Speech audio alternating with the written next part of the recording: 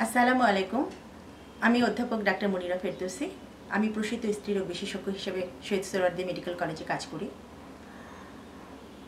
আজ গোটা বিশ্ব করোনা আতঙ্কে আতঙ্কিত। গর্ভবতী মহিলারাও এই আতঙ্কের বাইরে নয় এবং আমার কাছে যেসব গর্ভবতী মহিলারা আসেন, তারা জানতে চান যে এই সময়ে যদি, কীভাবে তারা ভালো থাকবেন, কীভাবে করোনার আক্রান্ত করোনা থেকে তারা রক্ষা পেতে পারেন, অথবা করোনা যদি ভাইরাসে যদি তারা আক্রান্ত হয়ে যায়, তাহলে কীভাবে তারা জীবনযাপন করবেন, কি মেজার নেবেন, কি কি করলে পরে তার গর্ভের সন্তানটার কোনো সমস্যা হবে না, এই বিষয়গুলো তারা জানতে চান। এই জন্যই আমি আজকে এই ভিডিওটি করছি।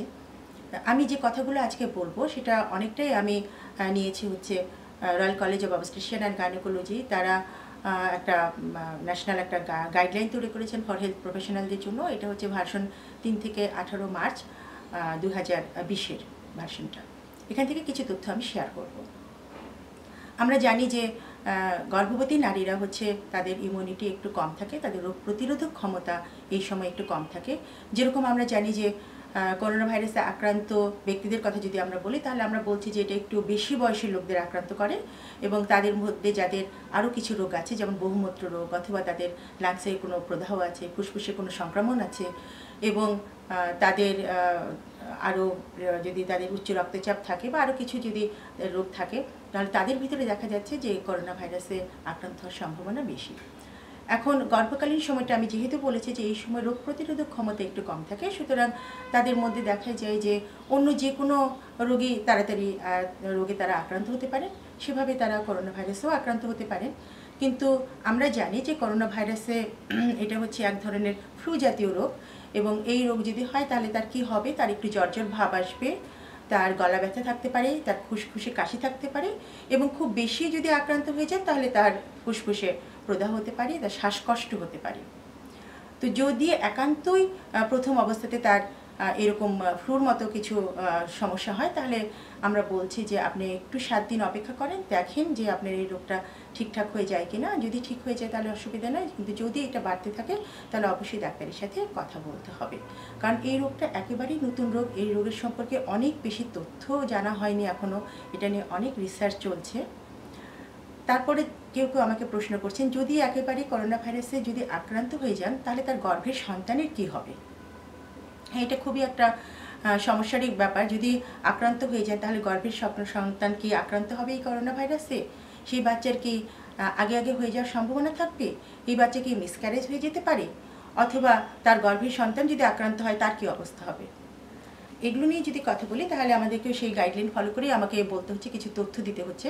তথ্যটা হচ্ছে এরকম, আমাদের জানা মতে যে দুজন এই পর্যন্ত মা পাওয়া গেছে, যার ভার্টিক্যাল ট্রান্সমিশন হয়েছে। অথবা যে যে দুজন মহিলা এই করোনা ভাইরাসে আক্রান্ত হয়েছিলেন, তার বাচ্চার ভিতরে এই করোনা ভাইরাসটা পেটে থাকাকালীন অবস্থাতে সংক্রমিত হয়েছে। আর চীনে যে চারজন মহিলা করোনা ভাইরাসে আক্রান্ত হয়েছে, তার ভিতরে, তাদের চারজনের ভিতরে দেখা গেছে যে করোনা ভাইরাসে আক্রান্ত হয়েছে, তার সন্তানটি বাচ্চা জন্মানোর পরে দেখা গেছে। তারপরে আমরা যেটা যেটা তথ্য আমরা পেয়েছি, সেই তথ্যটা হচ্ছে যে, বাচ্চা হয়ে যাওয়ার পরে বাচ্চার যে গর্ভফুল, সেটা পরীক্ষা করে দেখা গেছে যে, অনেকেরই এই গর্ভফুলে করোনা ভাইরাস আক্রান্ত কোনো নমুনা পাওয়া যায়নি এবং তার শরীরে যে অ্যামনিটিক ফ্লুইড যে যার ভিতরে বাচ্চা থাকে, সেই অ্যামনিটিক ফ্লুইডও পরীক্ষা করে দেখা গেছে যে, তাতেও কোনো করোনা ভাইরাসের জীবাণু পাওয়া যায়নি। সুতরাং এটা একটা আশার কথা, যদি এরকমভাবে আক্রান্ত না হয়, সবাই আক্রান্ত হচ্ছে না। যে মাটা আক্রান্ত হয়েছে তার কিন্তু সব বাচ্চাই অ্যাফেক্টেড হবে না। তাহলে ওই, ওইভাবে করোনা ভাইরাসে আক্রান্ত হওয়ার সম্ভাবনাও কিন্তু কম থাকছে। আর যেটা হচ্ছে যে যদি কোনো মা এভাবে আক্রান্ত হয়ে যান, তাহলে তার পরবর্তী করণীয়টা কী? অথবা তার হচ্ছে মিসক্যারেজ হওয়ার সম্ভাবনা আছে কিনা? এরকমও কোনো লক্ষণ আমরা বা এরকম কোনো রিপোর্টেড কেস এখন পর্যন্ত পাওয়া যায় নাই। পরবর্তী যে কথাটা বলা হচ্ছে যে, ষোলোই মার্চে আরেকটা কথা বলা হয়েছে যে, এই প্রেগনেন্সি গ্রুপটাকে ভালনারেবল গ্রুপ হিসেবে চিহ্নিত করা হয়েছে। তার মানেটা হচ্ছে যে, যেহেতু এই রোগটা যদি গর্ভবতী মহিলাদের হয়ে থাকে, তাহলে তারা ভালনারেবল হবে এবং তাদেরকে কিছু কিছু করণীয় কাজ করতে বলা হয়েছে। যেমন হচ্ছে যে, তাদের যদি অ্যান্টিনেটাল চেক থেকে থাকে, তাহলে সেই মায়েরা কীভাবে অ্যান্টিনেটাল চেক যাবেন এই তথ্যগুলো দেওয়া হচ্ছে এভাবে যে, যদি তার রেগুলার ওষুধ খান। যেমন একজন মার তিন মাস পার হয়ে গেছে গর্ভকালীন সময়, সে ডাক্তারের কাছে গেছেন তাকে ক্যালসিয়াম, আয়রন এই ধরনের সাপ্লিমেন্ট দেওয়া হয়েছে, সে বাসায় বসে এই ওষুধগুলো খেতে পারবেন তার খুব জরুরি প্রয়োজন যদি না হয়, তাহলে ইউজুয়ালি তাকে বাইরে যেতে না করা হচ্ছে। তার মানে আমরা যেটা বলছি সোশ্যাল ডিস্টেন্সটা মেনটেন করতে বলা হচ্ছে। যে আপনি গর্ভকালীন সময়ে আপনি এই সময় বাইরে যাবেন না। যতটুকু সম্ভব জনসমাবেশ এড়িয়ে চলবেন। জনগণের সাথে যাতে আপনার একটা দূরত্ব থাকে, সেটা আমরা সবসময় বলছি যে এটা আপনাকে মেনে চলতে হবে। এখানে একটা কথা বলি যে আমরা বলছি যে সোশ্যাল ডিস্টেন্স সেটা হচ্ছে যে একজন মানুষ থেকে আমরা আরেকজন মানুষকে যেহেতু যেহেতু ছড়িয়ে দিতে পারি, সেই জন্য এই সময়, গর্ভকালীন সময় আপনি যতটুকু পারবেন ঘরের ভিতরেই থাকতে চেষ্টা করবেন। যদি আপনি চাকরিজীবী মা হন, তাহলে আপনি চেষ্টা করবেন যে আপনি ঘরে বসেই যাতে কাজটা করা যায়, এটা আপনি বসের সাথে কথা বলে ওইভাবে যদি করতে পারেন, সেটা সবচেয়ে ভালো হয়। আর না হলে আপনাকে ছুটিতে নিতে হবে। একান্তই যদি যেতে হয়, তাহলে তাকে, তাকেও আপনাকে সেই সময়টাতে সেইভাবে ম্যানেজ করতে হবে যে আপনাকে এই জিনিসগুলো এড়িয়ে চলতে হবে। আপনি কোনো জিনিস হাত দিয়ে হঠাৎ করে ধরবেন না। এবং যদি কোনো জিনিস হাত দিয়ে ধরে ফেলেন, তাহলে সেটা, সাথে সাথে আপনি হাতটা ভালো করে পরিষ্কার করে ফেলতে হবে। এবং এই হাতটা আপনি চোখে মুখে নাকে লাগাবেন না। আপনি অবশ্যই মাস্ক পরবেন। মাস্ক পরে থাকলে আপনি কিছুটা হলেও আপনার এই রোগ প্রতিরোধক ক্ষমতা হবে মানে এই রোগটা আপনার শরীরে আসবে না। কারণ এটা ছোঁয়াচে রোগ আমরা জানি।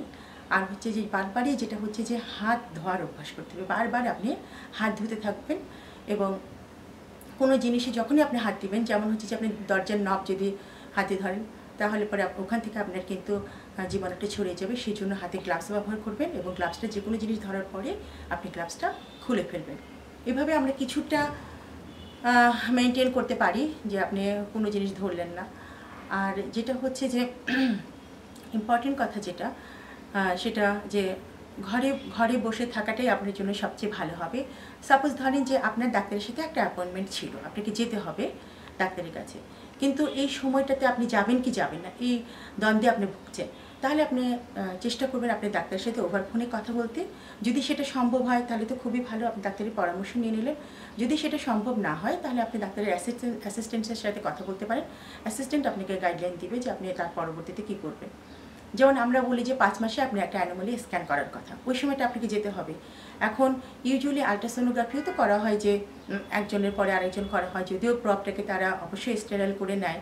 তারপরেও এই সময়টা করাটা যদি ততটুকু জরুরি না হয়, তবে আমি আপনাদেরকে রিকোয়েস্ট করব এই সময়টা বাইরে না যাওয়াই ভালো।